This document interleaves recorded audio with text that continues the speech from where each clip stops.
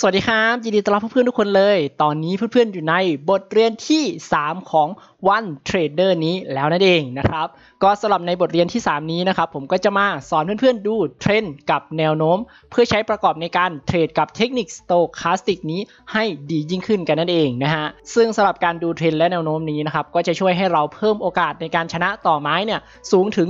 10-20%เลยนั่นเองนะฮะหรือพูดให้เข้าใจง่ายๆนะครับก็คือถ้าเกิดว่าเราดูเทรนด์กับแนวโน้มเป็นเราก็จะมีชัยไปกว่าครึ่งในการเทรดไม้ไม้นั้นแล้วนั่นเองนะครับ ซึ่งเรามีลุ้นแน่ๆนั่นเองนะฮะว่าเราจะชนะไม้นั้นไหมนั่นเองนะฮะอ่า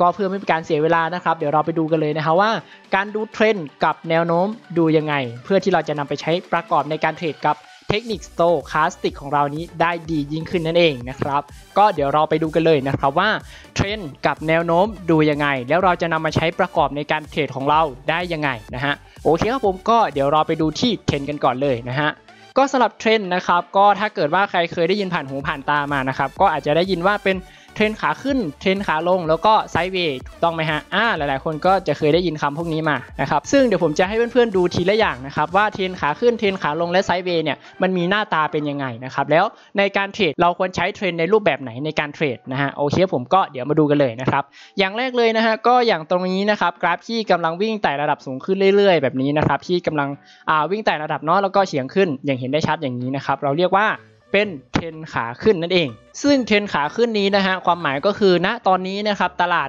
มีแรงในการทำให้กราฟวิ่งขึ้นสูงมากๆนั่นเองนะครับกราฟเลยวิ่งเป็นเทรนด์ขาขึ้นอย่างที่เราเห็นอย่างนี้นั่นเองนะฮะอ่า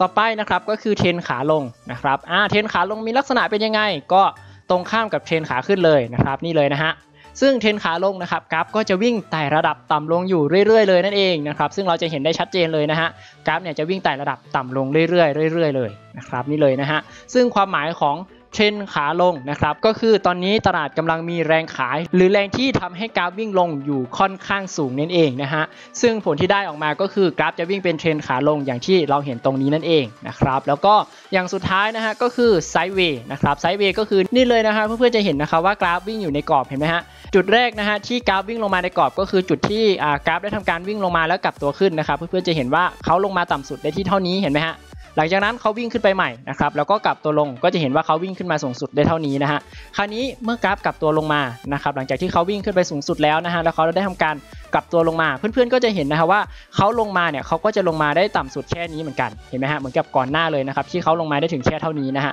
แล้วก็กลับตัวขึ้นไปใหม่ เห็นไหมฮะตอนกลับตัวขึ้นไปก็ยังกลับตัวขึ้นไปได้สูงเทียบเท่ากับ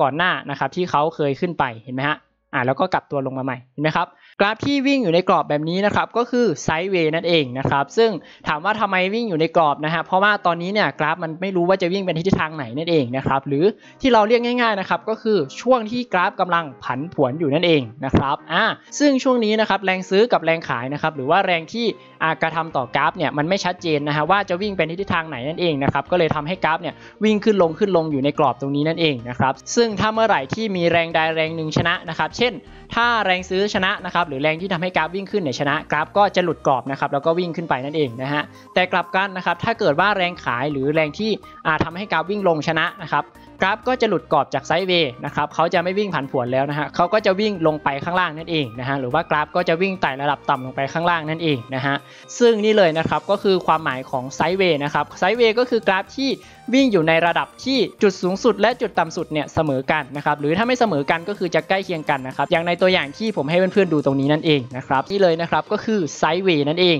นะครับก็คราวนี้นะครับเราได้ทำความรู้จักกับ ทั้ง 3 เทรนด์ไปเป็นที่เรียบร้อยแล้วนะครับ เทรนด์ขาขึ้น เทรนด์ขาลง แล้วก็ sideway นะฮะ ต่อไปแล้วดูแนวโน้มยังไงนะฮะ แน่นอนครับว่าเราดูเทรนด์เป็นอย่างเดียวเนี่ยทำให้เราเทรดไม่ได้แน่นอนนะครับ เราต้องดูแนวโน้มเป็นด้วยนะครับ แนวโน้มคืออะไรนะฮะแนวโน้มก็คือการวิ่งของกราฟนั่นเองนะครับว่าต่อไปกราฟจะมีโอกาสวิ่งไปในทิศทางไหนต่อนะครับคราวนี้นะฮะเดี๋ยวผมจะให้เพื่อนๆดูกันนะครับแนวโน้มเนี่ยจะอยู่คู่กับเทรนด์นะครับแนวโน้มเนี่ยจะไม่ค่อยอยู่คู่กับ sideway นะครับเพราะว่า sideway เนี่ยกราฟจะผันผวนนะครับไม่มีทิศทางที่แน่นอนว่าจะวิ่งไปในทิศทางไหนนะฮะแต่ถ้าเกิดว่ากราฟวิ่งเป็นเทรนด์นะครับไม่ว่าจะเป็นเทรนด์ขาขึ้นหรือเทรนด์ขาลง เราจะเห็นชัดเจนอยู่แล้วว่าทิศทางที่เขาจะวิ่งจะวิ่งไปในทิศทางไหนนะฮะซึ่งการคาดการแนวโน้มก็จะคาดการได้ค่อนข้างง่ายกว่า แล้วก็ดีกว่านั่นเองนะครับถ้าเราไปคาดการในช่วงที่กราฟเป็น sideway เนี่ยอาจจะไม่ดีเท่าไหร่นะฮะเพราะว่ากราฟมันไม่ชัดเจนเนาะว่าต่อไปจะวิ่งไปในทิศทางไหนนะครับซึ่งถ้าเราวิเคราะห์ผิดเนี่ยก็คือจบเลยนะครับอะประมาณนี้เลยนะฮะก็เดี๋ยวต่อไปนะฮะเดี๋ยวผมจะสอนเพื่อนๆดูแนวโน้มกันเลยนะครับว่าเฮ้ย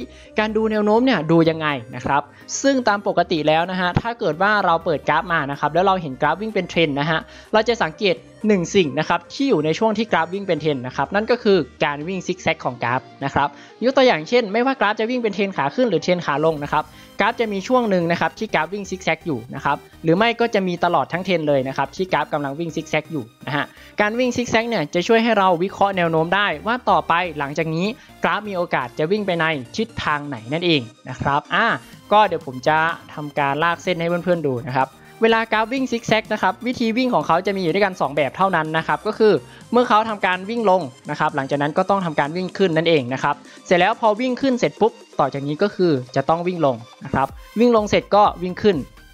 อ่ามีเท่านี้นะครับมีเท่านี้นั่นเองนะฮะพอวิ่งขึ้นเสร็จแล้วก็จะต้องวิ่งลงนะครับอ่านี่เลยนะฮะ ซึ่งเวลาที่เราจะดูแนวโน้มนะครับเราก็ดูจากการซิกแซกของกราฟตรงนี้นั่นเองนะฮะถ้าเกิดว่าณปัจจุบันนะครับเราเปิดมากราฟกำลังอยู่ในช่วงที่ซิกแซกลงนะครับลงมาแล้วต่อไปอีกสักพักอาจจะทำการวิ่งซิกแซกขึ้น หรือวิ่งขึ้นแล้วก็ได้นะครับแต่ถ้าเกิดว่ากลับกันนะครับเราเปิดมาเจอกราฟที่ได้ทำการวิ่งซิกแซกลง แล้วก็ได้ทำการกลับตัวกลายเป็นวิ่งซิกแซกขึ้นเรียบร้อย เราก็สามารถคาดการณ์ได้ทันทีว่าต่อไปหลังจากนี้อีกสักพักอาจจะวิ่งลงก็ได้ อ่านี่เลยนะครับก็คือวิธีการดูแนวโน้มนั่นเองนะฮะเราดูจากการวิ่งซิกแซกของกราฟนะครับถ้าพูดให้เข้าใจกันง่ายๆ ก็คือเมื่อเราเปิดกราฟมาเจอนะครับช่วงที่กราฟวิ่งเป็นเทรนด์นะครับย้ำว่าช่วงที่กราฟวิ่งเป็นเทรนด์นะฮะถ้าซิกแซกอยู่ในช่วงที่อากลับตัวขึ้นมาแล้วอีกสักพักกราฟก็มีโอกาสจะกลับตัวลงนั่นเองนะครับหรือว่าซิกแซกลงนั่นเองนะฮะแต่กลับกันถ้าเกิดว่าเราเปิดมาเจอกราฟที่วิ่งเป็นเทรนด์นะฮะแต่ว่าการวิ่งซิกแซกของเขานะฮะ เขาได้ทำการวิ่งซิกแซกลง อีกสักพักกราฟก็อาจจะกำลังซิกแซกขึ้นแล้วนั่นเองนะฮะนี่เลยนะครับก็คือการดูแนวโน้มนั่นเองนะครับและทั้งหมดนี้นะครับในบทเรียนที่ 3 นี้ก็คือ การดูเทรนด์และแนวโน้มเพื่อที่เราจะนำมาใช้ประกอบในการเทรดกับเทคนิค stochastic นี้นั่นเองนะฮะก็อย่างที่ผมบอกนะครับว่าการดูเทรนด์กับแนวโน้มนี้เนี่ยเป็นอีกหนึ่งตัวช่วยที่สำคัญมากๆนะฮะถ้าเราดูเทรนด์กับแนวโน้มเป็นก็มีชัยไปกว่าครึ่งแล้วนั่นเองนะฮะ ก็โอเคครับผมสำหรับในบทเรียนที่ 3 นี้นะครับ ผมก็ต้องขอฝากเอาไว้เท่านี้ก่อนแล้วกันนะฮะแล้วเจอกันใหม่ในบทเรียนที่ 4 นะครับ ก็สำหรับบทเรียนต่อไปนะฮะผมจะพาเพื่อนๆนำเอาทั้ง 3 บทเรียนนี้นะครับที่เพื่อนๆเรียนมานี้มารวมร่างกันและเทรดอย่างถูกต้องนั่นเองนะครับว่าจะเทรดยังไงนะฮะก็ห้ามพลาดกันเลยนะฮะเพื่อนๆจะได้เทรดกันอย่างถูกต้องนั่นเองนะครับโอเคครับผมแล้วเดี๋ยวเจอกันในบทเรียนที่ 4 นะฮะสำหรับบทเรียนที่ 3 นี้บ๊ายบายครับ